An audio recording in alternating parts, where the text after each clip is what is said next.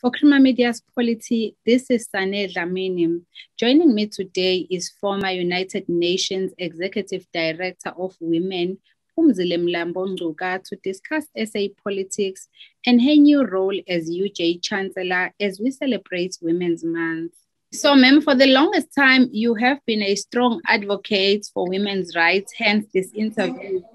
You were once uh, South Africa's first woman uh, to occupy a big position of being a deputy president, and you had advocated for women's rights on the international stage uh, through the United Nations. Could you briefly tell us about this international work that you have undertaken? Uh, thank you very much, and happy Women's Month to all the women who will uh, see this interview. Uh, working for the United Nations um, meant working with women around the world. Uh, it meant working with member states who are members of the United Nations because the United Nations is an intergovernmental organization, but it also meant working with civil society because without civil society, the women's struggle will not go anywhere. We also reached out to work with uh, business, and that has increased a, a lot during my time. And we worked with the academics. And one area of extension was working with men and boys around the world. Because in the end, this whole issue of patriarchy and gender inequality is a man's problem. If we do not engage the men we're making them get away with murder, basically, because they have to take responsibility and find ways of intervening so that we don't leave women carrying this burden just by themselves. So, my work involved uh, dealing with uh, legislative reforms around the world because uh, we still have thousands of laws around the world that discriminate against women. So, if in a country, even the laws of your country uh, in black and white discriminate uh, against you, you have no chance to make the progress that is expected. We work a lot also on highlighting the unique impact of discrimination, for instance, on the girl child, which is why we emphasize the girl child, because we do have the Children's Rights Act, which cover both boy and girl child, but it is the girl child who's forced to marry an older man just because she's a girl. It is the girl child who's forced to have female genital mutilation because she's a girl. It is a girl child who is taken out of school by a family because of boy preference. So we were fighting all of these issues in different countries. And then, of course, we also needed to make sure that we call for investments in women's work because it is not free. You have to spend money to address these problems. At this point, many countries still don't invest enough on women's work. They more or less think this is just something you can just do by the way. So we were dealing with uh, uh, ministers of finance in different countries uh, to push them to allocate money and also the services that women need so that they can have a robust life. Like you know access to child care services. Women can't go to work because they have to take care of children. But of course there's some countries who have done well already and we congratulate them and we encourage them. And in south africa in some areas we were doing okay but in some areas we were bad. And one area where we really were bad is gbv that remains an area of concern. Speaking about GBV uh, during this month as well, why do you think our country is so violent uh, towards women, ma'am? And what can be done to edge the scourge of uh, GBV? Well, we have a violent past, uh, which we probably have not um, addressed adequately yet, but also our law enforcement is weak. Perpetrators of violence against women become serial perpetrators because they can. uh, they can get away with us. We do. We have not put in place uh, measures to deter them. You know, make sure that a person thinks twice before uh, trying to to be violent uh, towards towards women. And we are also a country that is urbanizing quickly, and there is many domestic uh, support system uh, that helps to bring these values that would highlight uh, the importance of being respectful for women. And at the same time, we still have a strong rural component in our culture, in our norms, which tends to make gender based violence, um, you know, just one of those things that women must just suck in and move on. Uh, and then when you have a law enforcement system that, that, that does not show that it is intolerant to any violence against women, then it's a, it's a horrible cocktail.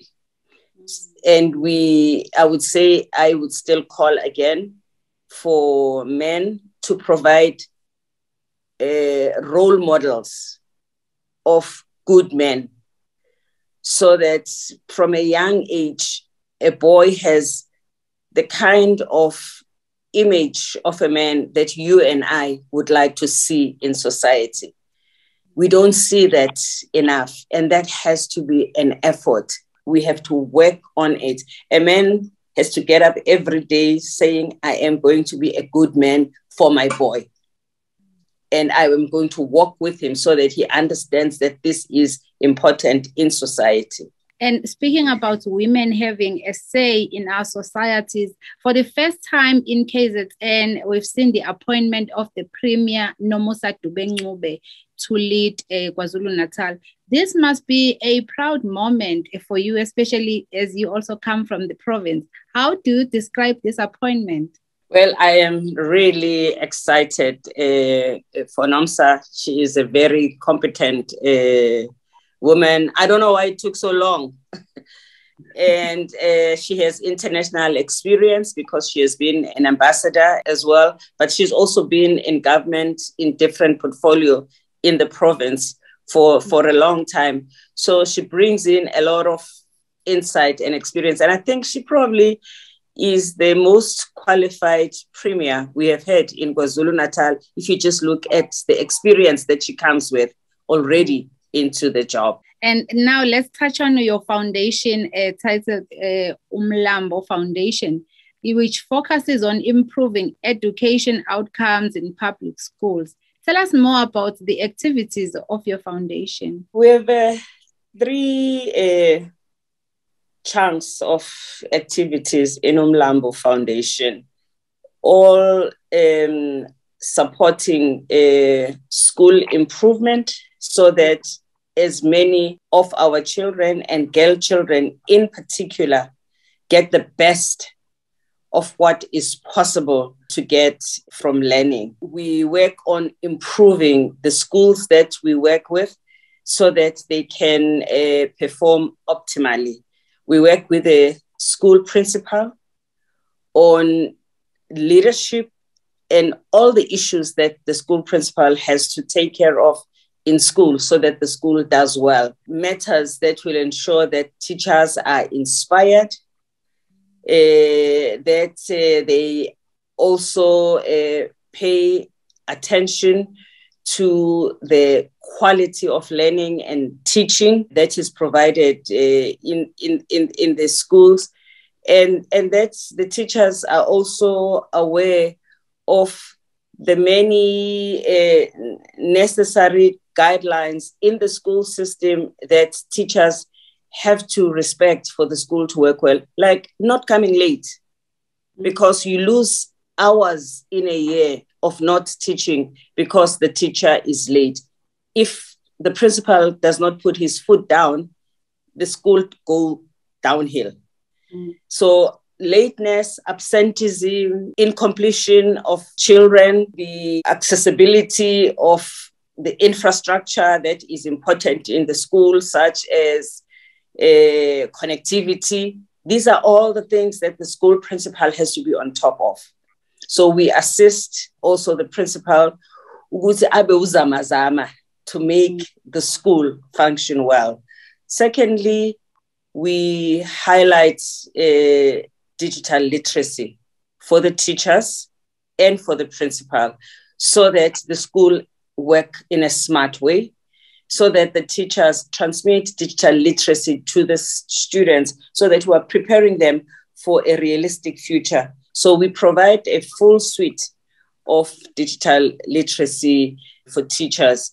In teaching leadership to principal and digital literacy to the teachers we inject gender equality in all the methodologies that we use so that the teachers, for instance, as, as they provide digital literacy to the children, they are also conscious about closing the gender digital divide because we have a big gender digital divide. You are making sure that the girls are in focus. Whereas with the principal, we are making sure that when he or she is dealing with leadership issues, there's always an awareness about gender inequality in the school system so that it is fitted into the activities of the school. For instance, the studying of STEM subjects by the girls, the principal has to be checking how many girls are doing science, how many are doing maths, how are they doing, what additional help do they need. And if they do need, we need that help. We are also intervening and helping them to access that help. And then the third area of work is a scholarship. There are few, but we just use this scholarship as motivation so that the kids are always trying hard so that uh, they do well and they may qualify for our for our scholarships. And we always make sure that uh, we have a equal number of boys and girls who we we pick on every time we, we take a new group to university. Speaking about uh, the fourth industrial uh, revolution, I know that you are also going to be joining one of the universities in our country, the University of Johannesburg, as a chancellor. Congratulations are in order for that appointment. What does this position mean to you? Well, I mean, it's uh, close to my heart because it's in education. Uh, an area that uh, I am uh, uh concerned uh, about. So I will be supporting the university, but I'll also see how they can be a support to the schools.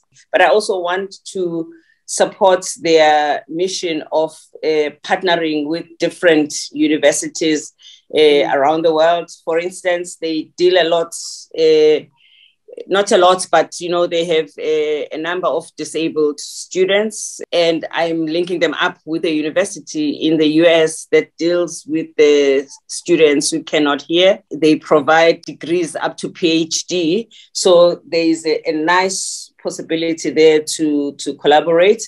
University of Edinburgh, they, they keep a lot of documentation that is important for South Africa of the anti apartheid struggle. And I want them to have access to that information so that in their historic records, they, they are able to do that. But I'm also concerned that our universities must help us solve the problems that are worrying all of us. How can we intervene to provide uh, education to local um, government elected representatives and officials uh, how can we as um, university uh, teach ethics? Because very few people specialize in ethics in university. But right now everybody has to be concerned about ethics. And a lot of the people who have stolen the biggest monies that we know about from the state which is stealing from the poor is people who already have university education. So there's something very wrong that universities have done that have produced people who have no sense of responsibility and, and, and ethics. What do you think it would take for our politicians to prioritize the needs of the people? The electoral system mm. has to work for the people, not for the party. We need an electoral system that gives power to the voters so that voters are able to kick out someone who does not serve them. Our electoral system does not quite allow for that. Elected politicians are beholden to their parties. And the communities that they're supposed to be servicing are last in line. And uh, a change in the electoral system is absolutely, absolutely needed. And lastly, ma'am, I know that you also come from uh, a black middle income township in Durban uh, called Clermont. What would you say to a girl child uh, who may think that uh, she can never be destined for greater things because of where she comes from? Well, you know, how you begin your life does not define how it will end. Never make your starting point to be your ambition because your future can be determined through your work and through the exposure that you are going to have in life.